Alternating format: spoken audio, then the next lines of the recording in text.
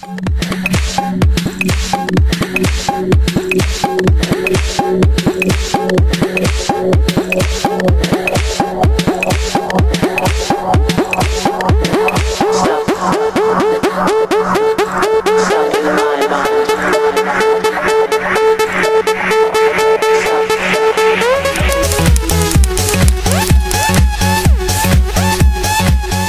aku pribadi, biasanya aku itu ngatur playlist um,